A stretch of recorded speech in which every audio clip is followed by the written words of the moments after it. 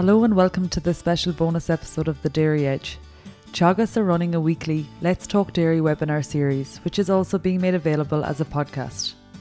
On this week's webinar, Stuart Childs discusses various topics, including tips on managing the last weeks of the breeding season to ensure all cows you want to keep are bred and management of silage pits. A few timely reminders, I suppose, to be honest. Uh, I think um, silage is cut. Um, we're beginning to come to the end of the breeding season, which I'm going to talk about as well. Um, but we also need to, um, I suppose, maybe start assessing what's gone, um, gone, gone on during the course of the year and uh, maybe plan for the rest of the year and plan for future years around what we need to do. So uh, I won't be long today, it's 10 15 minutes probably at most. Um, you, some of you may or may not find this uh, relevant. I think it's probably relevant to all, but it's and it's just, as I said, a timely reminder maybe to uh, people to um, start uh, thinking about what's gone on so far this year and what they need to do for the rest of the year, maybe. So I suppose just first thing first, I suppose we're just beginning to um, make our way into the latter half of the breeding season, depending on the date that you started you're going to have a varying finishing time. And as you will well know, we'll be advocating that people would have uh, a tight breeding season in order to have a tight calving season, and that we can get this kind of um, systematic approach to the, to farming in a grass-based system, so that we calve on time, breed on time, can dry off in in on mass basically if we want to, and then obviously we're ready for the following calving season again. So depending on the start date, depending on where you are in the country, uh, that time is coming at you fairly sharpishly, or else it's a bit further away. Maybe you're not as far into the breeding season as others are. So obviously you can see there we, we range from probably the 15th to the 20th of April, in some cases even the 1st of April, um, breeding start dates, which means that those people will be finishing uh, very, very shortly. For those of you that started around the 20th of April, you're looking at the 13th of July being your finish date on a a 12 week breeding season. The more common, I suppose, is the 25th, 27th of April start date. So that's the 18th of July or the 20th of July uh, for to finish up. Um, with the May, uh, the people who start in May um, and in around May 7th, May 1st, ranging from the 24th of July through to the 30th of July. Now, we spoke about this, I suppose, uh, on a number of occasions, and George would have spoken about it last year as well in relation to pulling the bull early uh, obviously, if you've been in a scenario where you've been calving um, off of a 15 week breeding season, then there are cows in the herd that aren't going to be probably falling into line to finish up on a 12 week breeding season. So if you are making the decision to cut back, you have to be conscious that there's possibly a cost associated with that in terms of loss of animals if you're going to go for the big bang and take them out after three or just remove stop breeding after 12 weeks in one go. Uh, or the alternative is that you creep back bit by bit, and, and we've talked about it there a couple of weeks ago as well. So I suppose the before, like this is just to highlight that um, today is the 17th of June, and obviously the, there's only kind of four weeks left for those early um, starters. We'll say there's April herds. Um, so the most important thing then is to make sure that we have everything that we want to keep on the farm bred. So if if as I said you're going, coming off of a 15 week breeding season, you may not your cows may may just about be kind of coming right to actually be bred if they're all calved at this stage. Uh, so we need to follow up on those and make sure that they do get bred. And without a doubt, there's a level of fatigue comes into into farming at this stage of the year because we've had been going full tilt basically since uh, maybe late January, early February with calving. Again, it's been, I suppose, a difficult season or difficult year in one sense in that uh, we've been under pressure for grass for quite a period, and then when things turned around, we were under pressure to manage the grass. So it's been a little bit unrelenting, maybe in, in one sense. So people are tired, uh, and the, the, mind can be come off the game a small little bit. So we just need to refocus for one last uh, shot at the at the, the breeding situation.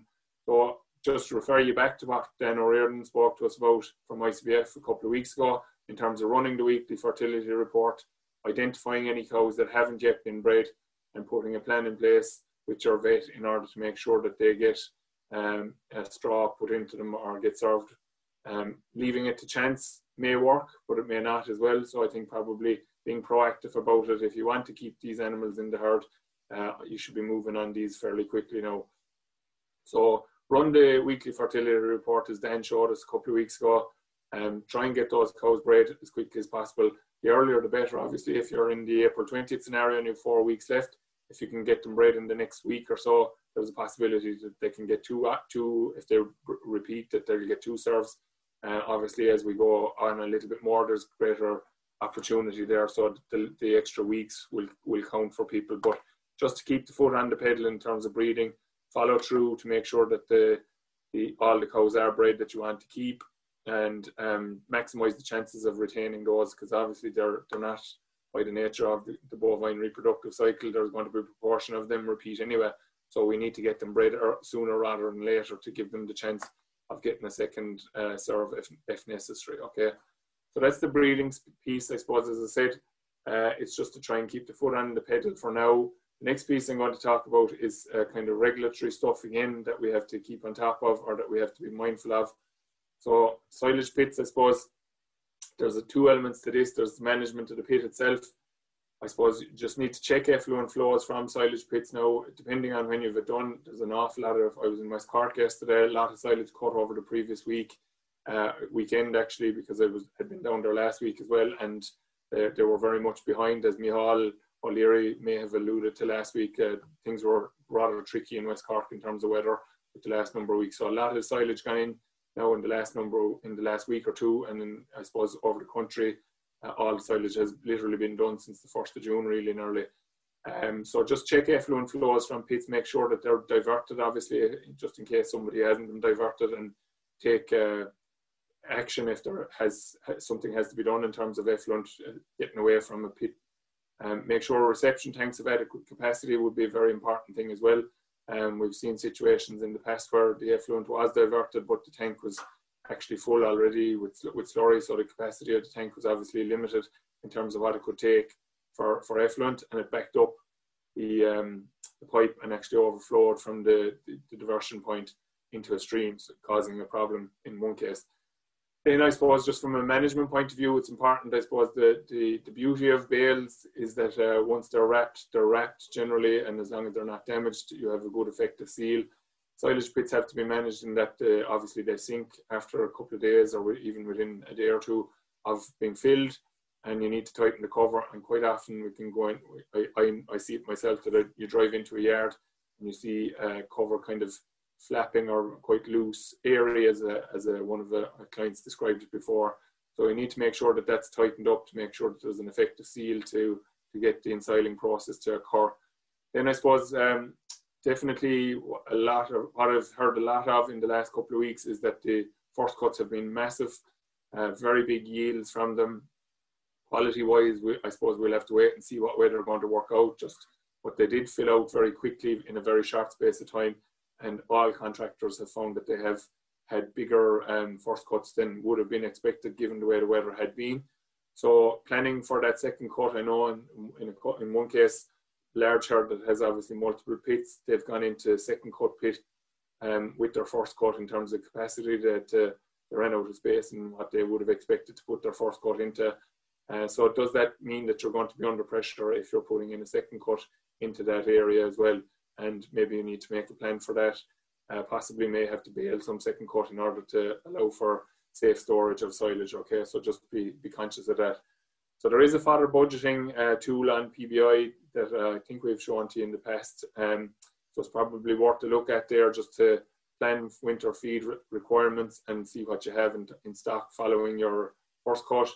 Um, and then planning of second cut areas. Maybe there might be opportunities to reseed if you have a lot of silage in stock. If, if you're fortunate enough to have silage left over from um, the previous winter and you now have a very big first cut gone in as well, there may be opportunities to take out some uh, ground and not necessarily put it in for a second cut. But be very sure that you have a good reserve built into your fodder budget in that scenario. Um, it's important that we always carry a reserve if we can at all to allow for situations like we probably experienced in the spring of this year where we were slightly tight uh, one thing being to our advantage was that we were still able to get out and graze because uh, conditions were good, but it was just cold and there was poor growth. Um, but if we were in a scenario where that was a wet spring along with uh, poor growth, we would have had to feed a lot more silage. And in some cases, some people are actually out of silage, obviously after the after the spring that we had.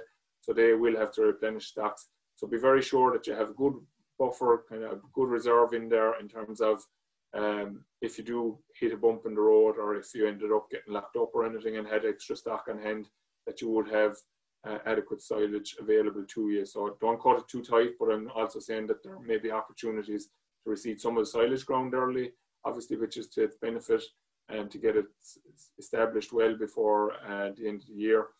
Um, but also maybe that you might be able to free up ground on a milking platform if you take silage off a milking platform to receive that instead of taking the second cut from it, or maybe take a lighter first cut from it that you could take quality silage from.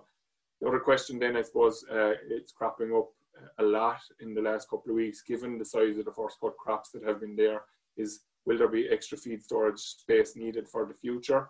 Um, so there's a health and safety concern being raised quite significantly around the heights of pits that uh, contractors are being asked to put in. Um, so as we've, I think we've discussed it before, maybe as well about the increase in the, the numbers on farm of stock on farms, but in general there probably hasn't been an increase in the feed storage capacity on the farm to match that. And look, I suppose that's understandable. Obviously, people try to put the stock there, obviously, to pay for facilities in due course and try to manage with what they have as best as they can. But at the same time, we can't uh, overlook health and safety issues around um, people working on the farm, obviously. And if we're being, if we're asking contractors to go to a dangerous height with silage pits, uh, then we need to start looking at options around increasing that feed capacity, or else you're going to have to look at baling uh, proportion of your crop to reduce the height of that pit for those contractors. So I think, look, long term, obviously, more storage capacity that people have and more storage space people have, it's going to be a better thing. So planning that uh, just assessing it now, uh, obviously not say, suggesting that you're going to have to do, you're doing it straight away, but you need to look at the situation and, and, and um, ask yourself the question, do you need to be looking at putting down another silage slab or extending the slab that you have or something along those lines, just in order to improve the health and safety of the farmyard. And look, it's no different from your own point of view. If the contractor is concerned about going to the height that he's going to, uh, if you're ultimately removing tires or removing plastic from that pit and it's a very high pit, you're obviously in, in danger yourself. And we want to try and eliminate those risks as much as possible. So um, plenty of space obviously will make it a lot easier for, for everybody concerned. So then I suppose this is something that everybody that's a Teagasc client will have gotten in the, um, the newsletter that was sent out for June. And it relates to derogation, I suppose, in particular. But I would say that people should be thinking along the lines of if you're not in derogation, that many of these rules and regulations are only a matter of uh, years, a very few short years, even for that matter, away from being applied to um, to all farms, probably, or definitely farms that are farming at any level of intensity and not even derogation intensity. So just, um, I suppose it's, it, this is supposed to come into play. It, it, did come into force from the 1st of January of this year, and we've had plenty of warning about it, I suppose, in that it was flagged two years ago that it was going to come into play on the 1st of January 2021. But we were very, uh, it, was, it was quite slow in terms of getting the information as to what was actually going to be required in terms of how it was going to be uh, implemented, etc. So just to run down through these again, excluding um, animals from water courses. So you can see here in this scenario that the cows are actually going into the water with the gate set up here in order to allow them access to the stream for drinking.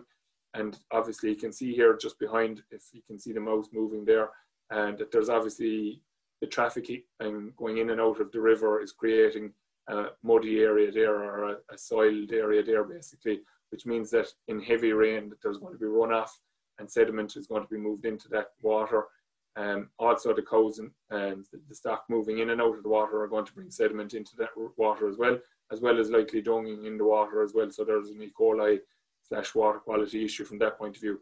The other issue that comes about from that scenario then is that phosphorus binds to soil particles, and when they get brought into the water course there, it's actually bringing phosphorus into the water as well.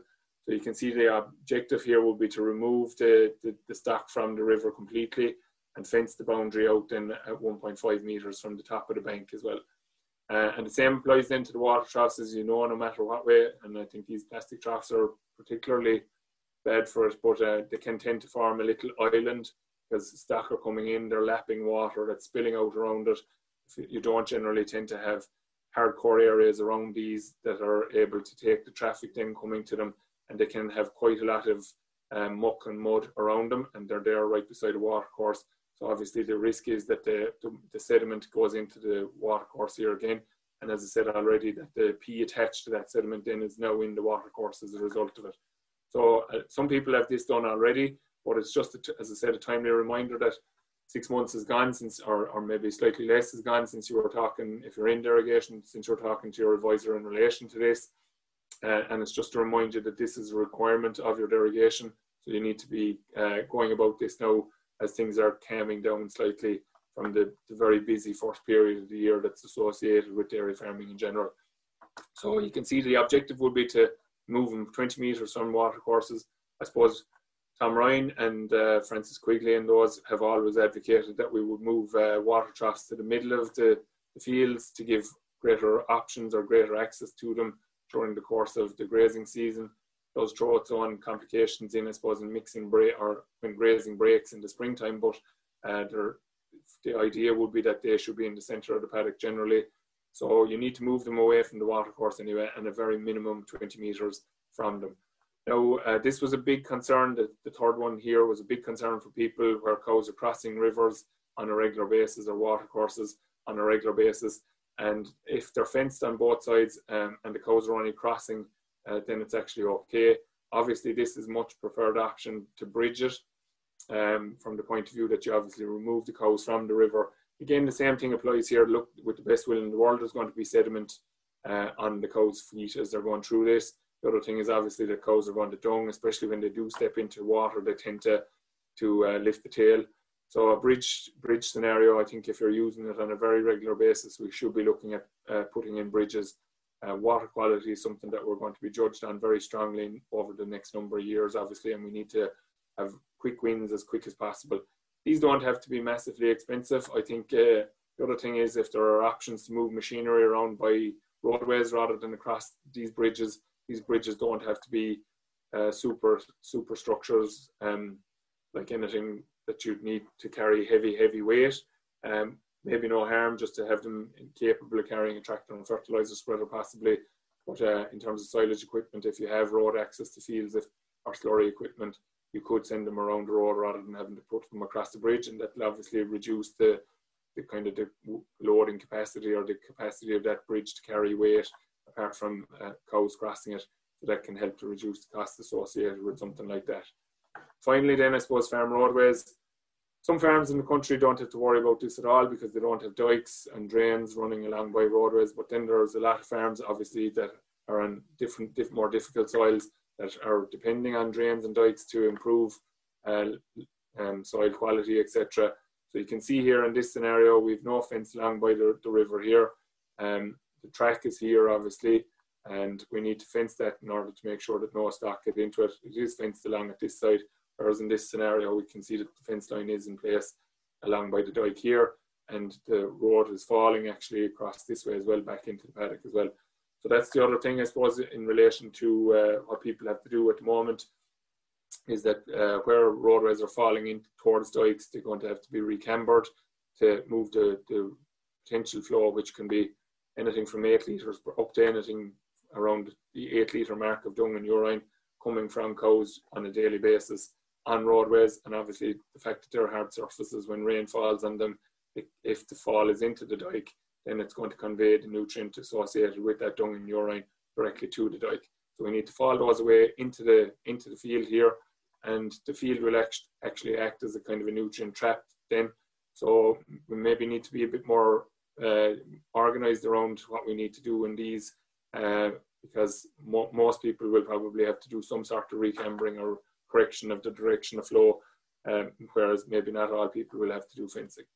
So finally, I suppose um, the last piece then is just to assess the situation around soil water um, and the creation of soil water. So what you're talking about when you come to soil water is pretty much collecting yards, uh, feeding yards where stock are out in the open and they're being fed.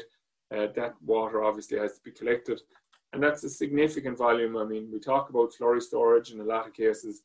Uh, slurry storage probably on a lot of farms can be adequate um, until we add the soil water fraction into it. And then we have vast quantities of water being collected um, that are contributing to very high levels of slurry slash soil water, which is now defined as slurry, um, in slurry tanks and putting pressure on the storage capacity on the farm and forcing people to try and drop levels of tanks um, in inappropriate weather. So I suppose I, I think uh, a lot of people maybe focus on storage capacity. I think we maybe it, it's no harm to actually focus on can we minimize the volumes that are being pushed into these tanks or being collected by these tanks, and that can in itself can create um, extra capacity, I suppose, within farms. So I think it's no harm to look at these options around soil yards. Would obviously be to cover them. Um, the other options that are there is to make sure that in the, the during the winter period that we're not forced to collect them if they're not in use. So a collecting yard that is um, not, not in use once the cows are dried off, that it can be cleaned down, washed down properly, collected into the slurry tank, and then diverted any washing water coming off that, and then be diverted to clean water outfall. The other thing that we would generally find, and again, it's a complacency issue uh, on farms because you just get used to things, is that downpipes along the likes of these sheds and yards tend to, if they get broken, don't tend to get fixed in a timely fashion. So I think, look, this is a good time of year to be looking at those situations. Um, tractor turns around dropping a bale of silage or something, clips a, a, a chute. Next thing that chute is running down into the into the yard. And as you know, with, with some of the heavy outbursts of rain that we get from time to time, uh, it, it could be very short space of time to filling a tank, and then people come under pressure. They have to relieve the pressure, obviously, by putting out slurry, and we need to try to move away from that. So there's a two-pronged approach to this. There's the management of the soil water areas. Uh, dairy washings, can we reduce them in some way? Can they be reused maybe to wash down yards and stuff to minimize what has to be collected? Can we just minimize what has washing needs to be done in any kind of a way at all uh, to reduce soil water storage requirements? And then also just making sure that we're not uh, collecting clean water that we don't need to be cleaning. So it now is a good time to examine the yard in that sense and see can we put some um, corrective measures in place, I suppose, in, in between. And as I said, it doesn't necessarily mean that we need to build. Uh, in, in some cases, it can, like there's significant soil water collection in some cases, and maybe we can manage that better to minimize the requirement to actually collect that during the close period. Um, but it, look, it, there's no doubt about it. There are people that are going to have to look at installing uh, storage facilities as well. And if anything, look, I'm only speculating when I say this, but if anything, storage requirement periods are probably likely to increase, if anything. Um, so any kind of additional storage facilities that you're putting in place now are going to be actually an advantage to you into the future, as well as just being a real source of uh, stress relief, I suppose, if in the on the occasion that we have bad weather when we come into into that January period when slurry can be spread, that we're not forced to spread slurry, that we're more comfortable. That works for everybody, works for you as a farmer, would work for a contractor not being under savage pressure to be expected to push out slurry out of every farm in the country in the one day, basically. Um, and then just purely from obviously from the, the big win is from the, the environment's point of view if we can hold our slurry until such time as we can make best use of it, the risk of overland flow, etc., is, is reduced quite significantly. So we're spreading in appropriate conditions, I suppose. Time of the year there now is going to vary from county to county, from parish to parish even. Um, so like some people will be quite safe spreading slurry in, immediately after the close period in the right conditions. Other people are obviously going to have to carry it for longer, even though you might be in a zone that's only 16 weeks, your Lent type may not be suitable to it. So we need to be looking now at this stage of the year to see what can we do uh, to eliminate these areas uh, from soil water. Obviously, the simple things would be to fix the likes of the downpipes, as I said, that are broken, that are running onto these. And as I said, it's complacency. And that's not a negative when I say that. I, it's just we get used to seeing something wrong. It's maybe not a big problem at the moment we forget about it very quickly. It's it's just a habituation, I suppose. I think they describe it as that that we get used to seeing that scenario and we don't fix it. So maybe go around the yard in the next couple of weeks, uh, assess the situation in terms of downpipes and where is their soil water being generated from. Can you do something about it? Write it up somewhere so that you have a list uh, that you can refer back to, so that you don't have to go around doing the assessment again and then put a plan in place to try and, as I said, reduce the soil water generation if you can, or if you can't, maybe start thinking along the lines of increasing the storage capacity. Now, uh, I suppose there is some talk of uh, increased soil, soil water storage capacity requirements coming on, on stream as well. So it may be no harm to do this anyway, to be reducing your soil water requirements, which may also be looking at having to increase soil water capacity as well. And that could be as simple as a large storage tank that you're maybe filling with a, submersible pump that won't necessarily cost the earth. It doesn't have to be a big concrete store or anything. But uh, look, so, so slurry capacity in general, I suppose, is something that we need to be looking at and, and assessing. And now is a good time of the year to be doing that. As, as I said, the pressure is beginning to come off. So I suppose that's pretty much it for today. As I said, I just wanted to say a few timely reminders, I suppose, that people are beginning to get a little bit more relaxed at this stage with silage first got done. Generally, uh, things begin to start to calm down a small bit on farm. Um, so the opportunity is there now to maybe look into these aspects of the farm. Uh, so I suppose the, the two things that we need to focus on, I suppose, is making sure that we get cows bred that haven't been bred so far. Look at your finish of your breeding season. Can you uh, shorten it up? Um, and what you need to do, obviously, as I said, is to make sure that you've all the cows bred before you make that decision, I suppose. So you need to you need to make sure that every cow is bred uh, before you go pulling um, your bull or whatever from or stop your AI season. If you're cutting back to make sure that you're not going to have significant empty cow losses as a result of a significant change in your breeding season, or else you just start to work back gradually. And then on this aspect of it here, in terms of the silage effluent and the silage yards and soil water collection and so forth from dirty yards, can you uh, do a, consult with your advisor, look at the farmyard, can you do something to reduce it? Do you need to increase silage storage capacity, as I said, uh, effluent storage capacity, etc. And uh, just put a plan in place then to deal with that so that uh, obviously avoiding creating any pollution issues. Um, the other aspect of it is, I suppose, maybe reducing stock numbers coming into the winter is something that people could use to uh, reduce capacity requirements as well. So everything should be on the table. I'm not saying that anyone has to reduce their herd size in order to keep in line with their slurry storage. If you want to add the slurry storage, that's fine. In some cases, people have decided to cut back because maybe they don't have a successor and they don't see the justification for building extra capacity for uh, when there's no one coming through to follow on from them. But uh, slurry storage capacity is something that's going to become more and more in the limelight than ever before, I suppose. So it's worthwhile having a look at that. So, look, I suppose just some topics that we're going to cover in the next couple of weeks, I suppose, is actually around that uh, pulling the ball. Again, we'll have a, a, refresher on that, just the advantages of doing it, I suppose. I'm going to look at some protected urea issues around the spreader with Francis Quigley there in the next couple of weeks as well and uh, there's uh, um, there's other issues as well with ICBF that Dan Reardon is looking to, to talk to you about to just make you aware of as well. So there are some of the topics that are coming up. We'll wrap it up with that for today anyway, and sure we'll talk to you again next week.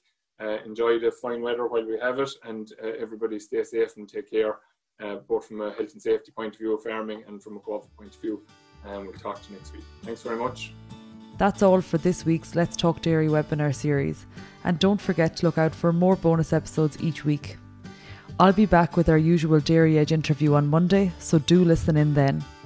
I'm Emma Louise Coffey, and thanks for listening.